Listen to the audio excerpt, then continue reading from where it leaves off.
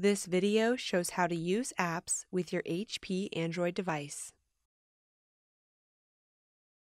HP tablets running the Android operating system have access to thousands of software applications called apps.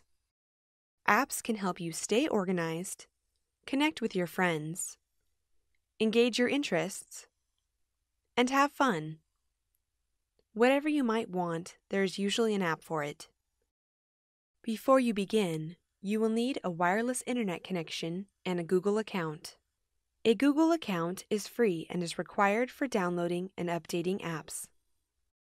From the home screen, touch the All Apps button to view the apps that are currently installed on your device.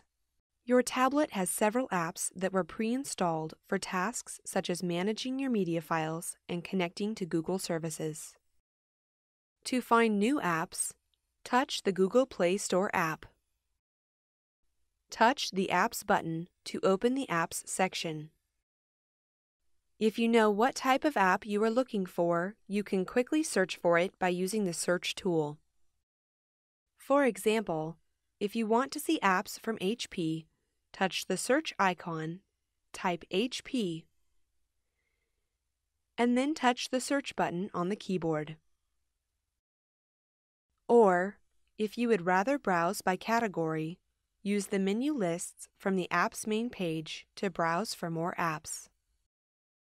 There are many categories for apps, including productivity, with apps such as SkyDrive and Google Drive, social, including Facebook and Google, Plus, entertainment, such as Netflix and Pandora, and more.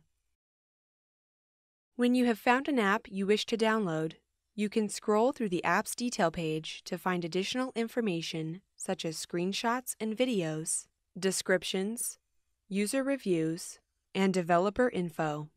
Note: While many apps are free to download, some may charge a fee or require you to have a subscription to their service.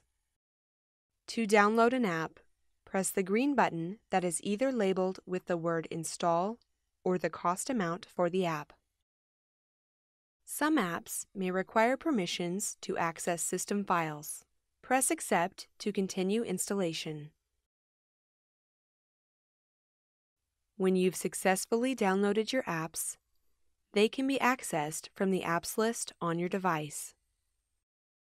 To download updates for your apps, navigate to either the Google Play homepage or Apps section and touch the My Apps button.